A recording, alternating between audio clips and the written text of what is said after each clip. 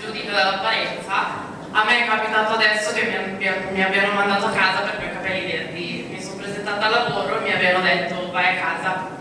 E io posso essere professionale quanto una che ha i capelli, che ne so, che sia bionda, nera, che abbia i capelli tinta un po'.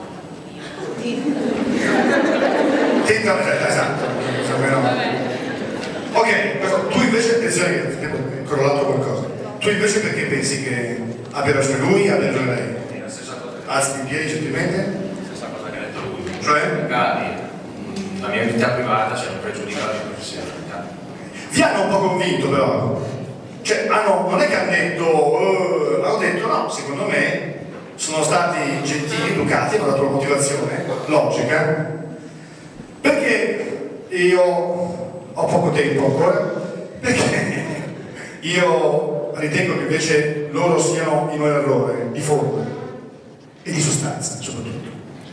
Perché, per carità, tu hai capelli verdi, varrai certamente quanto ora, ma qui non si parla del fatto che tu hai capelli verdi dopo due anni che lavori in un'azienda. Tu hai i capelli verdi il primo giorno. Tu hai il diritto di essere una persona che in qualche modo ha una sua personalità.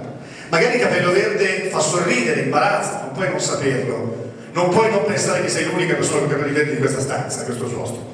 E quindi in qualche modo che sei esposto a un giudizio. Libera di farlo, ma se vai in un contesto lavorativo, tu, tu e anche l'altra persona, lui, si deve mettere in contatto con quella nuova realtà. Si mette vestito non strafigo, strafiga, stragnoca col tagliere e quant'altro, ma si mette quantomeno avvicinandosi un po' di più all'ambiente. Se vai a lavorare in una banca con i capelli verdi, pensare che quella banca esprime un valore che è anche legato alla filosofia. Tu vai all'interno di un posto di lavoro che ha una sua filosofia, una sua cultura. Tu non puoi imporre la tua cultura. Ed è per questo motivo che abbiamo parlato di assertività. Tu ti metti in contatto con quella realtà. Una volta che tu sei entrato in quella realtà, una volta che voi siete arrivati e avete studiato la situazione, poi verificate se è il caso di poter fare quello che volete voi.